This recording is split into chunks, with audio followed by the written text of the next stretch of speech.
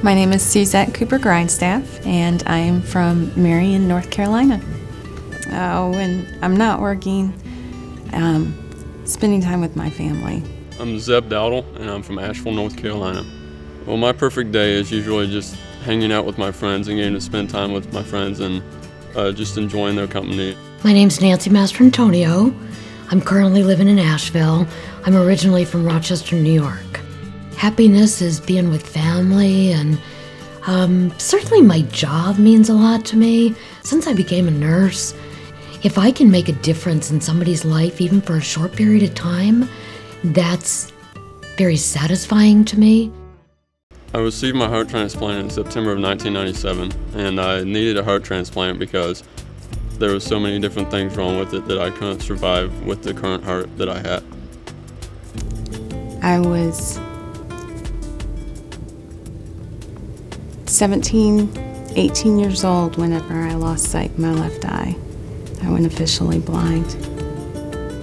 In 1999, um, I received a corneal transplant in my left eye. The doctor took the bandage off in his office. It was immediate. About 25 or 26 years ago, I was diagnosed with lupus, and I ultimately went into kidney failure and went on dialysis for about 15 months. If I stayed on dialysis, I think that at the time they told me that there was like a 25% chance that I could live five years. And I ended up 15 months, so a little over a year on dialysis, and I kind of felt like there was a clock ticking.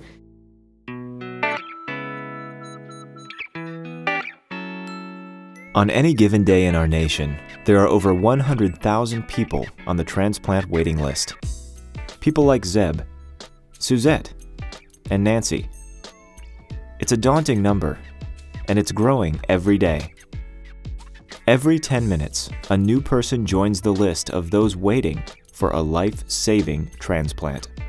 Sadly, about 18 of them will die today, simply because the organ they needed was not available in time.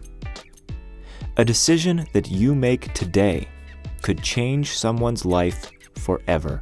One of the things that when we look at patients and how they die, a lot of patients die of heart failure, a lot of patients die of renal failure, a lot of patients die of chronic diseases which actually erode their organ function, not just of the primary organ, but lots of the other organs that, that become involved. So therefore, what we're looking for is a patient who unfortunately dies, but yet all the rest of their organs are fine. That happens extremely rarely. Less than 1% of patients die in those kind of situations. So it's almost not quite a needle in a haystack, but close. People register to become organ donors because they know that even in death, it's possible to help others. Often, fear, misinformation, and myths around organ donation keep people from registering. One such fear is that in their moment of need, their care may suffer, that the doctors will not do everything they can to save their life. The truth is, in fact, exactly the opposite. My responsibility is to take care of that patient who's in front of me. My responsibility is to do the best job I can and to marshal the resources necessary in order to take care of that patient. That means that if I need to consult cardiology or neurosurgery or whatever, that's what I need to do. If I need to take that patient to the operating room right away, then that's what I need to do. My primary focus is always to take care of that patient and try to do the best job I can in order to make that patient or to get that patient well. My number one uh, responsibility is to cure. And number two is to relieve pain and suffering. If I'm taking care of someone, they're always going to get the, the best care that I can give. Another concern people express is that their own medical history might keep them from being a donor. Over the last 20 or 30 years, we have done a very, very good job at extending the people who are qualify, I guess, for donation. And it's impossible for a layperson to know whether they qualify or not. They really need to talk to an expert. So I suggest you register and let the experts make the decisions whether you can or cannot, depending upon what your health status is at the time of death. Registering to become an eye organ and tissue donor is a simple act with an enormous potential impact. The choice to donate life is an individual one, but the impact of that decision can change the lives of 50 people or more. Her heart went to an 11 year old. So it's like we lost a daughter in a way, but we gained one, you know.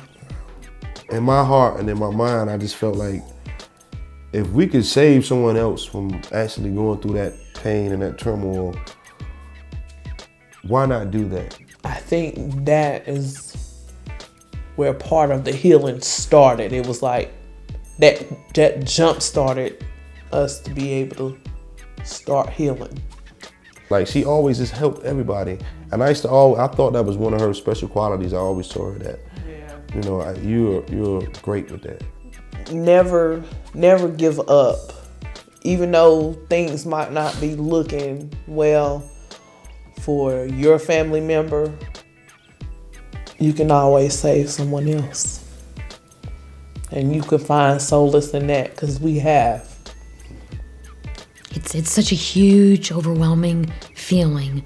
And I say gratitude, but it's so much more than that. Being an organ and tissue donor can can change life. It in ways that you don't even comprehend. It's something so small to just say, yes, I'll be an organ donor when you're at the motor vehicle department, but it's so huge to those of us that receive the organs and our families that get to experience our life because we wouldn't still be here if not for those donors. As a human being, you're given a short period of time to help people. And on your last day of life, sometimes we're given an opportunity to help many people. The decision to donate life is one that is highly personal and generous beyond measure. Your choice can have an enormous impact on the lives of so many. Give joy, hope, and life to another. Go to donatelifenc.org today and register now to become an organ donor. Then, talk to your family and friends so that they know your wishes. You have the power to donate life.